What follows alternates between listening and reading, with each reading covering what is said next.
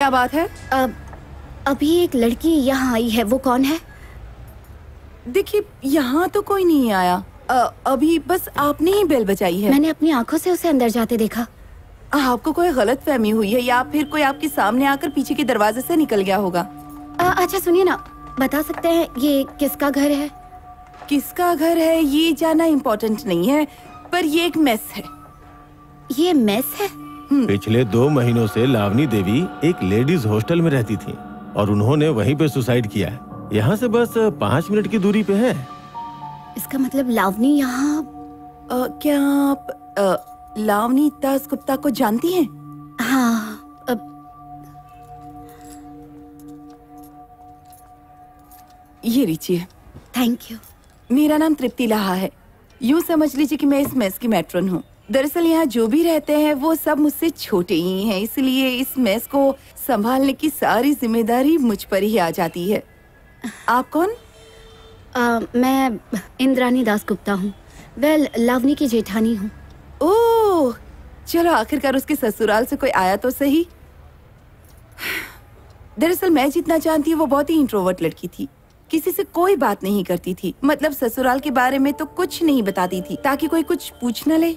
इसलिए दोस्तों से भी कोई कांटेक्ट नहीं था उसका। अच्छा। अच्छा लावनी इस मेस में कब से रहने आई थी? आई I मीन mean, क्या आप लोग उसे पहले से जानते थे? यानी आप जानना चाहती है कि किसके रेफरेंस से वो यहाँ रहने आई थी है ना? देखिए आप देख सकती हैं कि ये कोई फॉर्मल हॉस्टल जैसा बिल्कुल भी नहीं है। मतलब अगर कोई जान पहचान ना हो मतलब किसी का रेफरेंस ना हो तो यहाँ कोई रह नहीं सकता। तो फिर लावनी को रेफर किसने किया था? नहीं मतलब अगर आपको बताने में कोई प्रॉब्लम ना हो तो? आ, मुझे लिखने विखने का शौक है इसीलिए उससे जान पहचान हो गई थी। आ, यही पास में ये किताबों की दुकान है वहाँ पर। जनार्दन घोषाल। सुजातो दास गुप्ता। बड़े ही भले ही इंसान है। उन्होंने ही मुझे फ़ोन करके बताया कि उनकी एक रिश्तेदार काफ़ी मुश्किल में है। इसीलिए मैं उन्हें मना नहीं कर पाई। इतनी छोटी उम्र में इतना समझदार और इतना अच्छा। सेम हैंड राइटिंग है भाभी। इन सब के पीछे लावनी का हाथ है शी विल ruin भाभी वो सब खत्म कर देगी।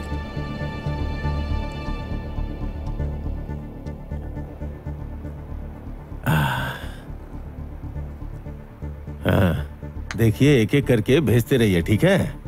वो काम वाली, काम वाला, खाना बनाने वाली, कोई भी छूटना नहीं चाहिए। जाइए। और हाँ ये चाय भी भेजते रहिएगा, ठीक है? चाय नहीं पीता हूँ ना तो मेरा मूड खराब हो जाता है। जाइए।